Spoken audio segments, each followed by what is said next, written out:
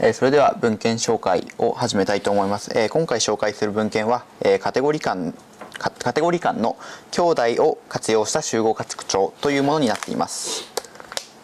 で、えー、と今回、えー紹介する論文は、えこちらになっています。で、キーワードといたしましては、え、Wikipedia、え知識獲得集合拡張といったような、え内容になっています。えまず概要について説明していきます。えーっとまず、えーっとこの論文では、えー意味カテゴリーに属する固有表現の、えー集合拡張を行っています。まあ、これどういったものかというと、えー例えば、えーっとプリウス、えーレクサス、えーインサイトといった車のカテゴリーの集合から、えー集合拡張してカローラやシビックやフィットといった、まあ、同じ車っていう、えーカテゴリーに属するものをあの知識獲得していくような、えーこことを、えーしていく論文なのですけど、えー、とそこで、えー、Wikipedia のカテゴリーの兄弟関係を事前知識として利用することで、えー、とさらなる適合率の上昇を図るといった内容になっています。でこれ適用した結果、えー既存手法に比べて適合率が、えー向上したと、えー筆者らは述べています。で、えー導入なのですけど、えー自然言語の理解には、えー常識的知識の獲得が、えー重要となっています。まあ、これどういったものに利用されるかというと、意味カテゴリーに属する固有名詞リストまあ、様々なタスクで利用されると書いてあって、まあ、質問応答や情報抽出、文書分類などの用途において、えー広く使われています。えーしかし、えーこれらの人手での構築は非常にコストがかかるため、え半自動的に構築するような手法が今まで研究されてきました。で、え集合拡張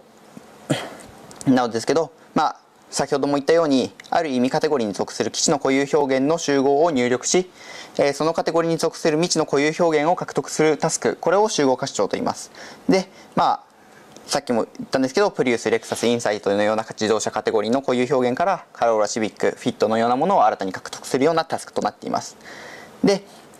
えー、と既存の手法、まあ、 bootstrapping 手法などと言われるのですけどでは、 seed instance と無関係なインスタンスを取得してしまう場合がありますまあこれは例えばプリウスレクサスから iPad ThinkPad のようなものを取得してしまう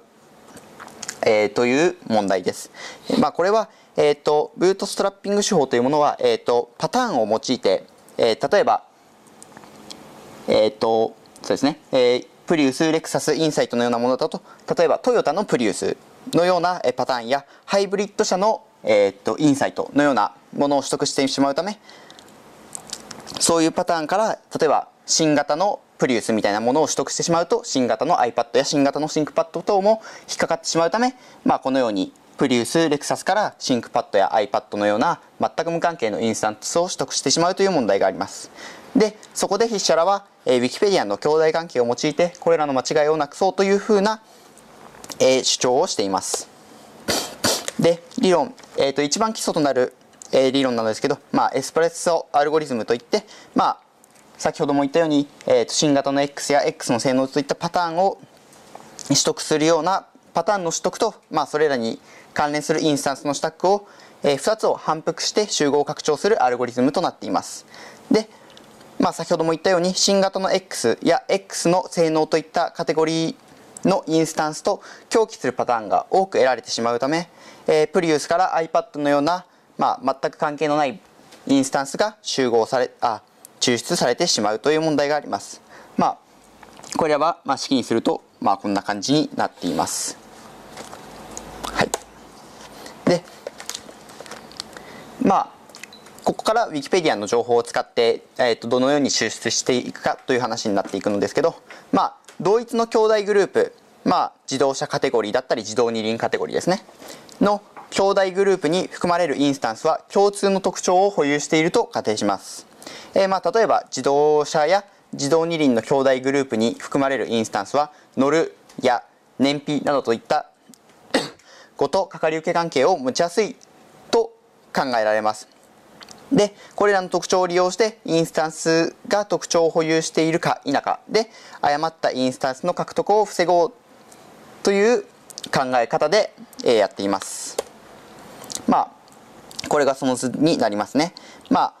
あ例えばシードインスタンスとしてプリウスやレクサスインサイトといったものを入れた時にパターンとしてまあ、トヨタの X、新型の X といったものがあります。あ取得で、パターンが取得できます。えすると、候補のインスタンスとして、まあ、カムリや iPad といった、まあ、iPad という間違ったインスタンスも取得できるんですけど、そこで乗るや燃費といったかかり受け関係を持つかどうかという情報を用いることで、まあ、iPad や、まあ、こちらで取得されている iPhone のような全く無関係のインスタンスは、まあ、ゴミ箱にポイと。で、まあ、えっ、ー、と、関連するカムリといった、まあ、車の種類ですよね。を獲得インスタンスとして取得することができるような形になっています。で、まあ、これは、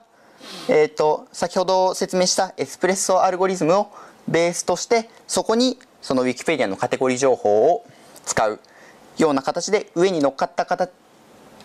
で、えっ、ー、と、のアルゴリズムとなっています。まあ、上から順番に説明していくと、ここで、え、と、エクスプレッソアルゴリズムを使ってパターンの取得でここでフィルターをしてそのカテゴリーに合ったインスタンスかどうかを判断して、まあ、最終的にこういろいろやってあげてそのカテゴリーに対するカテゴリーに関連する重要なインスタンスだけを取り出すようなアルゴリズムとなっています。えフィルターパターンの取得なんですけど、まあ、候補の抽出、えーとまあ、2つ大きく分けて、えーと、2つの方法で、まあ、重要なフィルターあパターンを取得しています。でこれは、えーとまあ、まず候補の抽出を行うような形になっていてで、まあ、このフィルターパターンを取得するときには、えかかり先やかかり元の関係は、え考慮しません。で名詞と動詞を対象に行うような形になっています。でまあこれをすると、まあ、最終的に乗るやエンジンや愛車といった、まあ、車カテゴリーを例にしてあげると、まあ、このようなフィルターパターンが抽出できますでさらにそこから、えー、ランキングをして、えー、まあ、最適なフィルターパターンを、まあ、この中でどれが一番車カテゴリーとして特徴を持っているかというランキングをして、まあ、網羅性と平等性の2つの2つでランキングをしています、まあ、例えば乗るといった単語であれば、まあ、車カテゴリーの全ての、えーとインスタンスに、まあ、よく出てくるということでまあ、これは持ってくるんですけどマイナーチェンジだとまああまり網羅性が高くないということでこれはちょっとランキングとしては下の順位になると。でまあ平等性という意味ではまあそうですね。はいちょちょっとあれなんですけどまあこういう感じになっています。はいすいません。でまあここから実験に入っていきます、えー、カテゴリー間の兄弟関係を事前知識として使用することの効果を検証します。で、えー、ベースラインは、えー、 Espresso アルゴリズムで Espresso アルゴリズムに入った制約というものを加えたものを使用します。で同じ数のインスタンスを取得した時の適合率を比較することで評価をしています。えー、でまあ実験のためには seed instance が必要になりますので、えー、 seed instance をまず Wikipedia から人手で、えー、と作成します。で、これは41個のカテゴリーに対して15個ずつインスタンスを準備しています。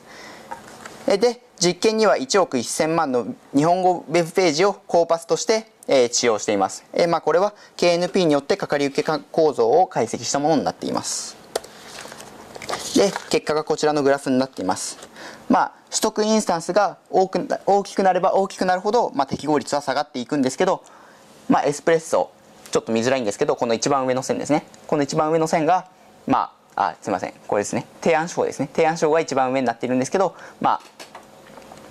一番適合率が高い。どのどれだけインスタンスを取得しても、まあ、一番適合率が高いという結果になっていて、まあ、性能が既存手法のエスプレッソに比べると性能が向上していることが分かります。でこちらはえっ、ー、とえっ、ー、と、各インスタンスを、えっ、ー、と、シードインスタンス15個から、えっ、ー、と、10回反復して150個取得して、えそれらを、まあ、今ここには、あの、5つの手法があるんですけど、5つの手法で、えっ、と、取得した150個の、えっ、と、インスタンスですね、10回反復して、それぞれ150個ずつインスタンスを取得して、それらを和集合として、えー、全てのインスタンスを、えー、合体させて、えっ、と、まあ再現率と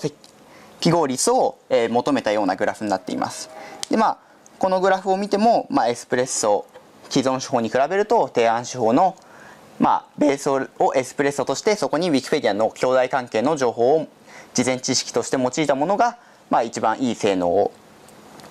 保っていることが分かります。でまあ一体どういうものが取得されたかっていうと、まあ、例えばカテゴリー神社に対しては、まあ、エスプレッソではまあ、誤りとして浅草寺とか成田山とか寺とかを取得してしまっているのですけど、まあ、提案手法であれ提案手法で取得した場合は、まあ、誤りが成田山だけと、まあ、非常に精度が高くなっていますまた寺というキーカテゴリーに対しても、まあ、エスプレッソでは神社や八幡宮なども全然違う単語も多く含まれてしまうのですけど、えー、提案手法ではまあ既存手法に比べて誤りが非常に少ないという結果になっています。で、えー、まとめなんですけど、まあ、既前既存手法を利用してカテゴリー間の兄弟関係を事前知識として使用することであ使用する、えー、手法を提案しました。でベースラインであるエスプレッソアルゴリズムに比べて適合率が最大で4.4%向上することができた。ということになっています。これで文献紹介終わります。ありがとうございました。